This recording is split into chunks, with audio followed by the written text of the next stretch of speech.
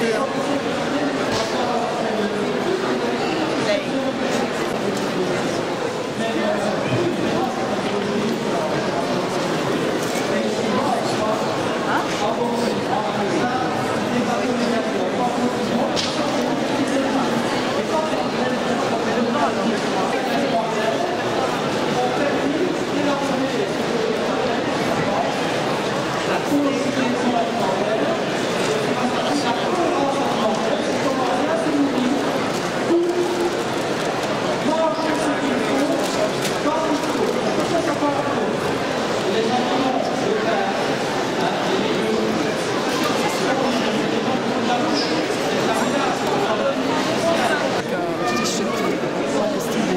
On vient pour euh, montrer notre indignation face à l'État d'Israël, le stand d'Israël, qui est un État qui viole le droit euh, international systématiquement depuis de trop nombreuses années.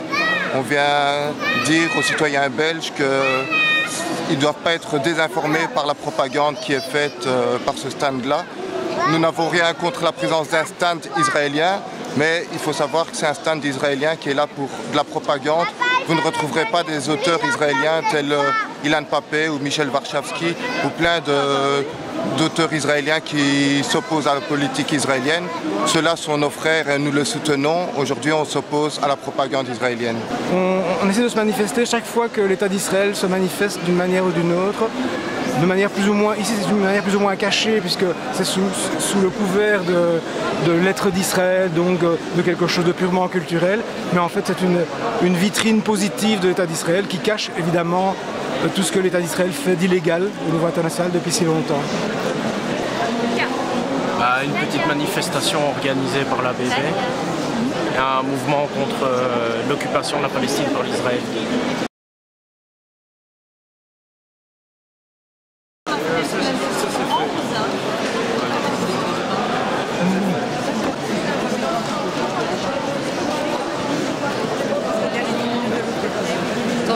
Bien ton ventre.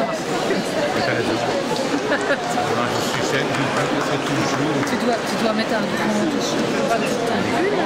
Pourquoi votre présence ici?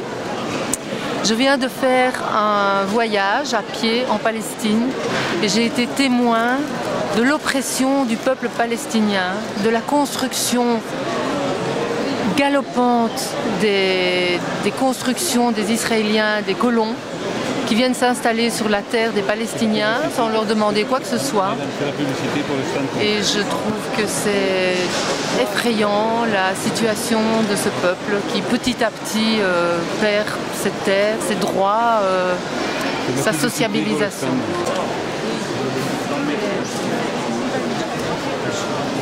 Ben, je viens soutenir euh, tous ceux qui viennent ben, contre l'occupation israélienne en Palestine. Et donc euh, bah, il faut boycotter euh, tous les produits qui viennent des colonies, parce qu'il y a une injustice qui se passe euh, en Palestine, et il n'y a personne qui parle, c'est un silence, le silence est complice.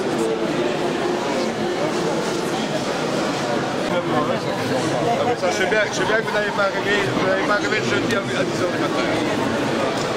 Vous le terroriste là, dites-moi maintenant pourquoi vous êtes ici. On vient visiter le stand d'Israël pour leur euh, rappeler leur euh, obligation de libérer le, le, territoire palestinien et leur dire on sera toujours là pour résister et on n'oubliera pas la Palestine.